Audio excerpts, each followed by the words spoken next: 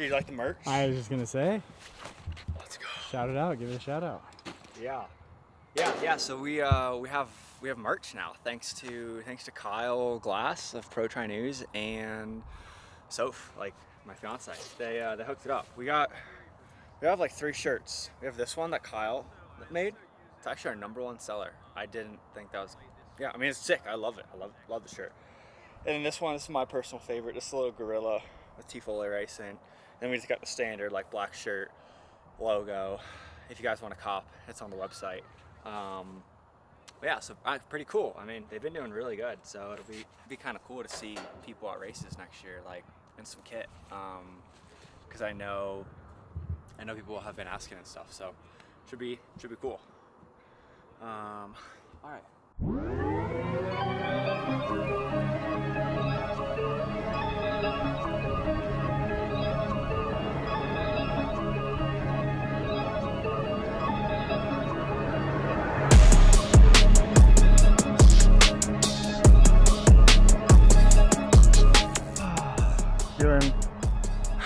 120 to 30 by 400 at threshold. So like 73 to 75 seconds per lap off 40 seconds rest. Um, I'll explain why we're doing that. 75 more seconds.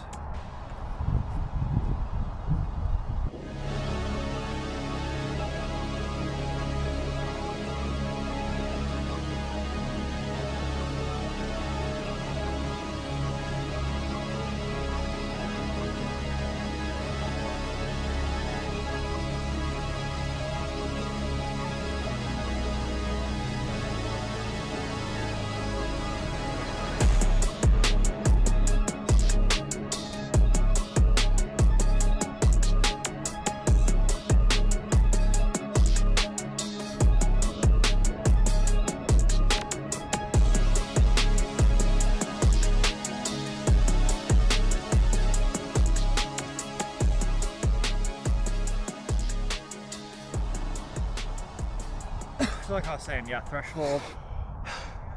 I mean, I can go over this later, but it's our first time, my first time hitting threshold since pre-placid build. So I've been on a very sub-threshold tempo LT1, whatever you want to call it. That's what I've been doing. So today is my first time putting on new carbons, trying out the ons, and uh, getting the gears turning. Two and a half weeks out from Kona, so a lot of volume's been done.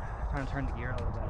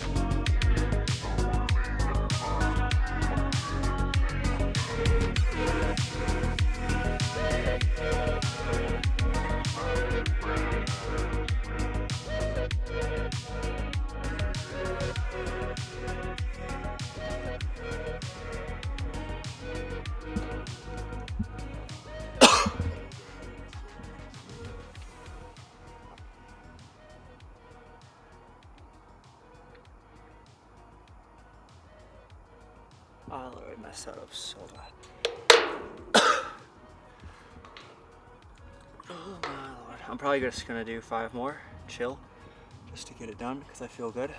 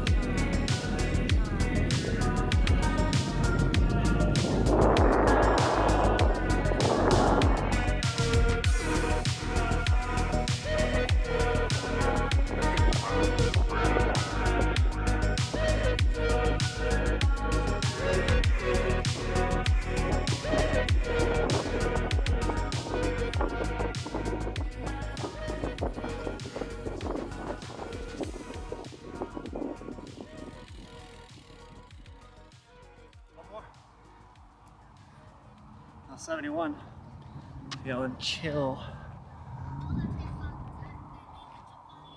I don't want to speak on all triathletes' behalf, but if you want to run a 230 marathon at the end of an eight hour race, probably got to be at least sub 220 marathon shape if you're going to do 230 off the bike. So if you're not doing 3400s in 70 seconds or something, explain to me how you're going to run 545 pace for eight hours or whatever. All right, one more. Aye. Aye.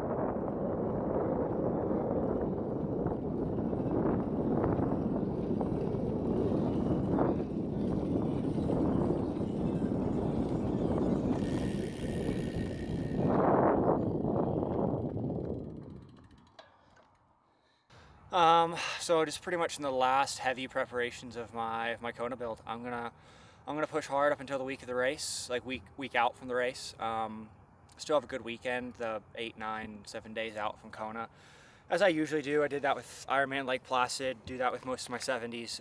um, just when you train such high volume all the time, you know, if you do 30 hour weeks and even cut it down to 20, I mean, it's a third reduction in volume. I think my math checks out. So I don't want to go too chill too early. Um, and uh, yeah, uh, so yeah, that's my thought process on there. And then I'll, I'll, I'll kind of nosedive uh, pretty heavy um, into the race week. I learned that from, from Lionel last year. Um, uh, shadowing him is, I think he's probably changed his taper model now, but I know last year he, he would kind of do the same, like train hard through, through the weekend before the race and then just like super chill race week. Like 30 minute ride. I remember the day before St. George last year, we did like a 17 minute ride, and I was like, "Is that it?"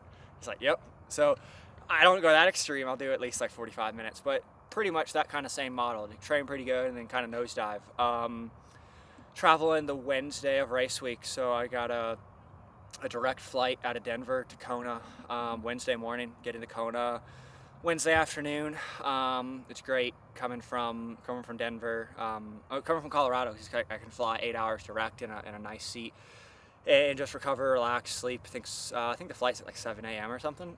so I think Soph and I actually got a hotel Tuesday night at the airport. So we're just gonna Uber in Tuesday afternoon, get dinner, Netflix, chill, all that kind of stuff. Um, wait, whatever. You are I didn't mean it like that. You know what I mean. And then um, and then just wake up and just catch the plane. So like bags will be packed by that Monday. Just like very chill, low key. I want to keep stress hormones, just all that down. Because um, I know too, like um, say, following the same travel itinerary I did for Placid, so like the 72 hour altitude rule. Um, yeah, like I said, I did that for Placid. I traveled Thursday for a Sunday race, and I just usually feel pretty crappy those two days. Uh, heading heading down to sea level, sleep really well. Resting heart rate drops five, three to five beats, which is nuts when you're already at like low 40s, upper 30s for it to drop that much coming from, I think my house sits at 5,500 to, to go to, you know, zero for it to drop that much. Um, I sleep well. Uh, and then usually on that third day of being at sea level, I, I'm feeling good, like really good. And I don't really notice it. I was telling my dad the other day, like, uh, or Stu maybe, when I'm running here, it's not like I really notice the altitude. It's just when, then when I leave, I'm like, oh wow, like six minute pace or whatever is so easy. And then like whatever, 340 on the bike is so easy. It's like you can do it here, which is great. I think about this altitude levels, I can still do it. But then when I go, you know, home or to sea level race, it's just you get that boost. It feels great. Um, so that's that's the travel itinerary. Um, and yeah. Okay, two questions for Sorry. you. No, you're good. no. All right. Next question. Tell us about your training. Yeah, tell us about your training lately. It looks like Yeah. you've been keeping it fun and loose. Yeah.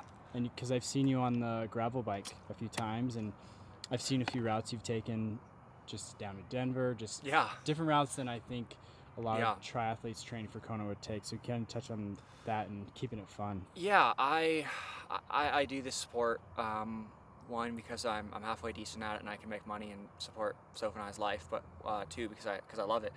I love I love exercising. I, I think it's like today I did a, a three hour ride following this this track session. I went uh, I went into the mountains a little bit, went into the suburb of, of Gun Barrel, hit like, like Lobo Trail just on the gravel bike, and I don't know. And like you said, like last week I just had an easy three four hour aerobic ride, just whatever 220 watts or something. It's like I don't always need to be sitting in TT listening to like a David Goggins, you know, pump up speech.